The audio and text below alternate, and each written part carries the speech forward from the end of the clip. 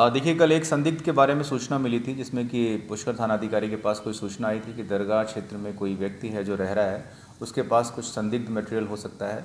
आ, कुछ वेपन होने की बात थी कि उसके पास कुछ हथियार हो सकते हैं या फिर बारूद भी हो सकता है। आ, क्योंकि हम लोग लगातार ही दरगाह के आसपास के सभी होटल धर्मशालाएँ लगातार चेक करते रहते हैं। आ, उस क्रम में कल ये अलग से सूचना मिलने पर स्पेसिफिक होटल को चेक किया गया।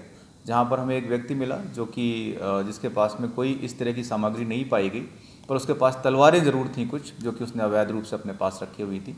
बाकी कोई फायर आर्म उसके पास नहीं था और ना ही कोई विस्फोटक वाली बात सही निकली। और क्योंकि तलवारें उसने अवैध रूप से रखी हुई थी उसके और उसने और उसके साथियों ने, इसलिए उनके खिलाफ आर्म्स एक्ट में मुकदमा दर्ज करके कार्रवाई की गई है। तक सामने नहीं आया है, लेकिन ये इस बात की संभावना ज़रूर है कि इनकी आपसी कुछ रंजिश है, कुछ लड़कों के साथ में। हो सकता है उनसे झगड़े करने की प्लानिंग कर रहे हों बाकी और क्योंकि आर्म्स एक्ट के आर्म्स जो फायर आर्म्स होते हैं उनके बिना कोई किसी को इस तरह से मार नहीं सकता है। लेकिन तलवारें रखना भी अवैध है और आर्म्स एक्ट के दायरे में आता है। और जो ये तीनों व्यक्ति हैं इनके पहले से भी क्रिमिनल रिकॉर्ड है मारपीट की घटनाएँ इन्होंने करी हुई हैं।